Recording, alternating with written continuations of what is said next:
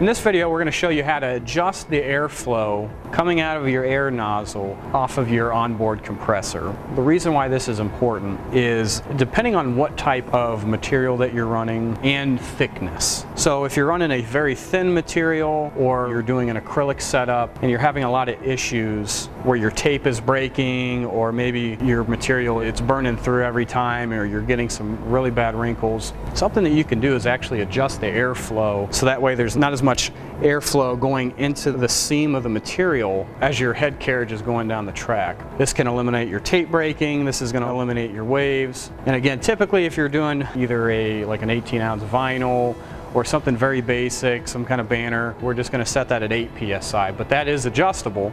If you're running something a little thicker and you're noticing your seam is just not there, you're, you're, you're, not getting a good weld, it's not consistent. Something that also you can do is increase that air pressure, that flow of hot air going into the seam. Why that's important is if you're not getting enough airflow into the seam while this is moving down the track, again, you're not going to get a good weld. So this is just something very basic. If you're noticing something you can try down the line if you notice you're not getting a full weld on any type of material. And to make this adjustment, it's very simple, and the only two things that you're going to need is a 7 16th wrench as well as a 3 16th Allen wrench.